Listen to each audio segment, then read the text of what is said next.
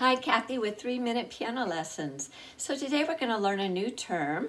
Uh, the abbreviation for the term is DC Al Fine. It looks like fine, but it's an Italian word and it means, uh, it's pronounced fine.